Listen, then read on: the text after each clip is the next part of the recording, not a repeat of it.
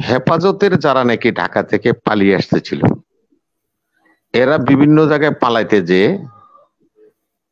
আওয়ামী সন্ত্রাসীদের হাতে মারপিটের শিকার হয়েছে, প্লাস প্রশাসনের লোকেরা গুলি করেছে। আমার জানা মতে সাতজন হেফাজতের কর্মী বিভিন্ন জায়গার, তাদের কোনো নাম ঠিকানা নেই। যে লাশগুলিকে আনট্রেস লাশ হিসেবে পরে ডেড বডি নিয়ে চলে গেছে রিকভারি করে। যারা নাকি দেখছিল বাড়ির ছাদে থেকে রাস্তায় দাঁড়ায়া এ সমস্ত মেচাকার সেখানে গোলাগুলি ওপেন হওয়ার পরে সাতজন এলাকাবাসী যারা উৎসুক, দেখতে আসছিল যে এখানে কি হচ্ছে, সেরকম লোকগুলি খেয়ে মারা গেছে। দেখতে আসছে যারা, তারা সাতজন মরছে। আর যারা নাকি সমাবেশে ছিল, তারা কত হাজার মরছে এবার? আপনারা হিসাব করেন, তাহলে তো হিসাব বেড়ে যাবে। শেখ মুজিবুর রহমানের হত্যার বিচার যদি বিশ বছর পরে এই দেশের মাটিতে সম্পন্ন করা সম্ভব হয়, ঠিক বিশ বছর পরে এই হেফাজতের শাপলা চত্বরে যে মেচাকার হয়েছে, নারায়ণগঞ্জে যে মেচাকার হয়েছে, গাজীপুরে যে মেচাকার হয়েছে যাত্রাবাড়িতে যে মেচাকার হয়েছে, কত মানুষ সেখানে প্রাণ দিয়েছেন, তার হিসাব এবং সংখ্যা অবশ্যই বের হয়ে যাবে। সেই দিনের জন্য অপেক্ষা থাকতো। আমি নিজে ওই ঘটনার একজন ভিকটিম। নারায়ণগঞ্জে যেই ছয়টা মামলা হয়েছে, হেফাজতের তেরো সালে, সেই মামলায় আমি আসামি এবং এখানে বিজিবির এক সদস্য হত্যা হয়েছিল। সে মামলাকেও আমা- আমাকে আসামি করেছে এবং মামলাটা এখনও চলমান। সাক্ষী হচ্ছে। আমরা তো সকালে আহ, কাক ডাকা ভোরে যখন এই অবস্থা গোলাগুলি শুনতে পেলাম কারণ নেয়ার টু সিটি আমরা তো ঢাকার সাথে শহর কিছু হলেই আমাদের এখানে আওয়াজ পাওয়া যায় শোনা যায়।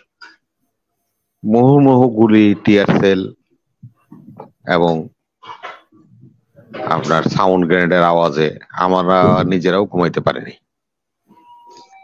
আমি আমার বাসার ছাদেই বসেছিলাম। সকালে ফজরের পরে অতর্কিত ভাবে আমাদের সিমরাইল মোড়, যেটাকে চিটাগাং রোড বলে, শাপলা চত্বরে রাত্রের তাণ্ডবের পরে আমাদের যে আঠারোটা জেলা আছে পূর্বাঞ্চলের চট্টগ্রাম, সিলেট সহ নোয়াখালী, ফেনী, কুমিল্লা। এই অঞ্চলে হেফাজতের সবচেয়ে বড় ধরনের একটা ঘাঁটি আপনারা জানেন, হাটাজারি এবং সিলেট। এই সমস্ত লোকেরা যারা সমাবেশে এসেছিল, এই রাস্তাগুলি দিয়ে আপনার তাদের বাড়ির দিকে অভিমুখে নিরস্ত্র অবস্থায় এরা সবকিছু হারায়া, কেউর গায়ে গামছা আছে, কেউর মাথায় টুপি নেই কেউর গা পাঞ্জাবি নেই আমি যেগুলি দৃশ্য দেখছি।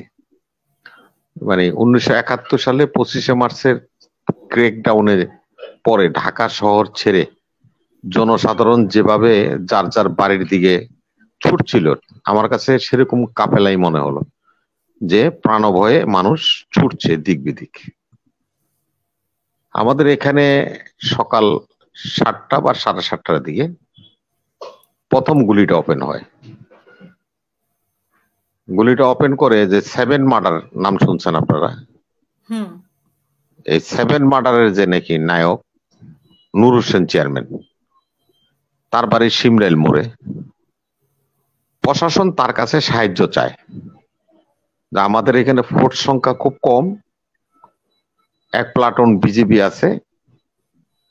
আর কিছু র্যাব আছে কিছু পুলিশ আছে এবং যে জনস্রোত তাতে করে এটা দিয়ে তারা এটা প্রতিরোধ করতে পারবে না বা তাদের ভয় হচ্ছিল তখন এই নুর হোসেন তার সশস্ত্র ক্যাডার, আওয়ামী লীগ, যুবলীগ, ছাত্রলীগের যে ক্যাডার গুলি এই সমস্ত ক্যাডার করে নিয়ে পুলিশ, বিজিবি এবং নিরাপত্তা বাহিনীর লোকজনের সাথে সিমরেল মোড় অবস্থান নিয়ে প্রথম গুলি ওপেন করে।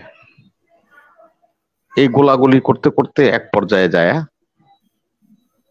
আমাদের এলাকারই সাতজন লোক গুলিবিদ্ধ হয়েছে এবং ঘটনাস্থলে প্রাণ হারাইছে। হেফাজতের যারা নাকি ঢাকা থেকে পালিয়ে আসতেছিল, এরা বিভিন্ন জায়গায় পালাইতে যে আওয়ামী সন্ত্রাসীদের হাতে মারপিটের শিকার হয়েছে, প্লাস প্রশাসনের লোকেরা গুলি করেছে। আমার জানা মতে সাতজন হেফাজতের কর্মী বিভিন্ন জায়গার, তাদের কোনো নাম ঠিকানা নেই। যে লাশগুলিকে আনট্রেস লাশ হিসেবে পরে ডেড বডি নিয়ে চলে গেছে রিকভারি করে, এটার হিসাবটা আমরা সরাসরি দিতে পারব না। তবে যে আটজন লোক আমার গ্রামবাসী মারা গেছে এই গোলাগুলিতে, সেগুলির দাপন কাপন আমরা করেছি, জানাজাও দিয়েছি, এটার হিসাব আমাদের কাছে আছে। এবং তাদের ত্রিমুখী এই ক্রসের কারণে একজন বিজেপি সদস্য ওখানে প্রাণ হারায়।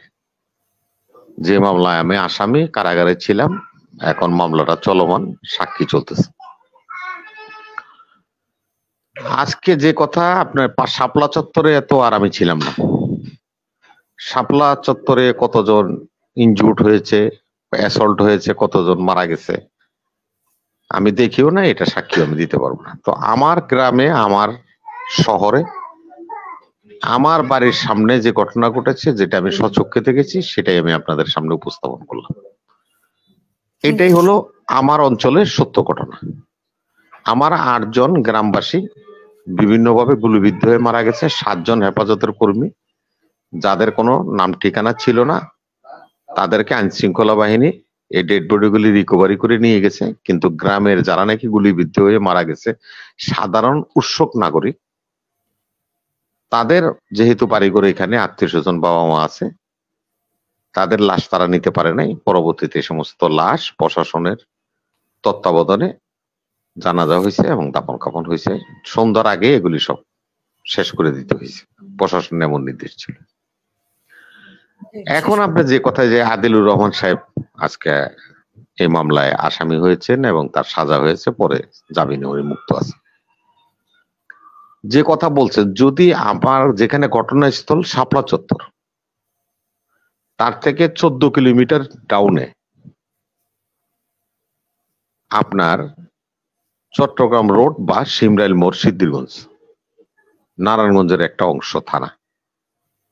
এখানে যদি আইন শৃঙ্খলা বাহিনীর গোলাগুলিতে উৎসক দর্শক মারা যায় আটজন, হেফাজতেরও মারা যায় সাত আটজন যেখানে ঘটনা ঘটেছিল সেখানে কতজন মারা গিয়েছে কতজন ইনজুর্ড হয়েছে এটাকে আমরা যদি একটু অ্যানালাইসিস করেন তাহলে আপনি বুঝে যাবেন যে ওইখানে সংখ্যা কত। হতে পারে। সংখ্যা অনেকে তিন হাজার বলে অনেকে তাহলে এত লাশ কোথায় গেল? যেটা আমি আমি এই যে আমি তো আপনাকে বললাম যে আর যে গ্রামের উৎসুক জনতা যারা নাকি দেখছিল বাড়ির ছাদে থেকে রাস্তায় দাঁড়ায়া এই সমস্ত মেচাকার সেখানে গোলাগুলি ওপেন হওয়ার পরে সাতজন এলাকাবাসী যারা উৎসুক দেখতে আসছিল যে এখানে কি হচ্ছে, সেরকম লোক গুলি খেয়ে মারা গেছে। দেখতে আসছে যারা, তারা সাতজন মরছে। আর যারা নাকি সমাবেশে ছিল, তারা কত হাজার মরছে এবার? আপনারা হিসাব করেন, তাহলে তো হিসাব বাইরে যাবে। এগুলি ধামাচাপা দেওয়া যাবে না।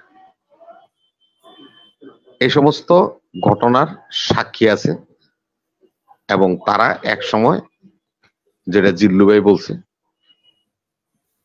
যখন সামারি হবে ট্রায়াল হবে, তখন সব সত্য উদ্ঘাটিত হবে এবং কতজন মারা গেছে তার হিসাবও পাওয়া যাবে। আপনি ভাবছেন, আমি ছিলাম চাকরিতে জিল্লু সাহেব, এখন আমি ডিআইজি নাই, আমি সেফ না। যদি কবরে না যান, ততক্ষণ পর্যন্ত আপনি সেফ না। আপনি পশ্রবিদ্ধ সেটা বেনজির হোক, শহীদুল হোক, আসাদুজ্জামান হোক, আর যেই হোক এক্স ওয়াই জেড বা মামুন হোক, বা এখন যারা আছে তারা, ও তো ঘটনার সাথে জড়িত ছিল। তারাও চাকরিরত ছিল।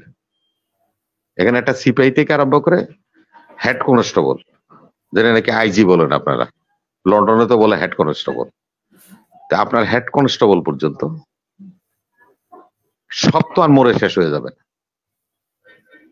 শেষ করবেন শেখ মুজিবুর রহমানের হত্যার বিচার যদি বিশ বছর পরে দেশের মাটিতে সম্পন্ন করা সম্ভব হয়,